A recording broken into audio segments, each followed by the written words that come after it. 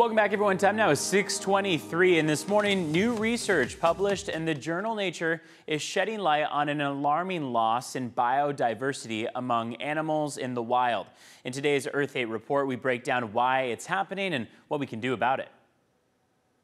It's the first comprehensive global analysis of genetic diversity, and it's not showing good news. Researchers found that biodiversity in two thirds of animals and plants around the globe was declining. Well, we know that genetic diversity is what enables populations and species to adapt to future changes in their environment. So, whether that may be a new disease coming through, or a heat wave, or some other kind of change in the environment.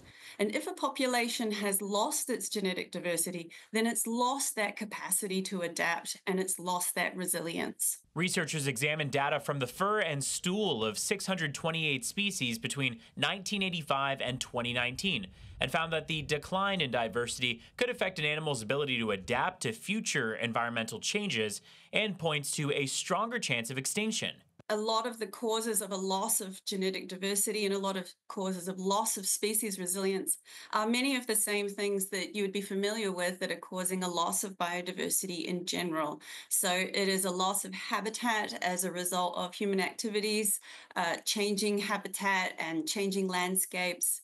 Uh, things like increasing natural disasters like the major bushfires that we've seen in Australia in recent years, uh, new diseases emerging, and uh, and so on. Off you go, little fellow. Higher genetic diversity, on the other hand, means there's a greater chance that a species will endure, according to Dr. Sylvia Perez Espona, a co author of the study in Nature. When you lose genetic diversity, you lose this potential.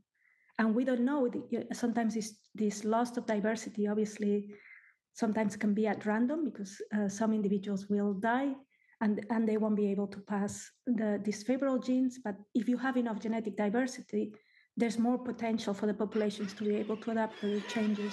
So while there's cause for concern, the study also shows that conservation efforts are working. Those efforts help to connect isolated populations and can even help maintain or even restore genetic diversity. They were able to establish populations on islands and on a fenced reserve, and in doing that, helped to increase the population size. And by using their genetic data, they were able to maintain genetic diversity as well. Evan Nurani, CBS 8.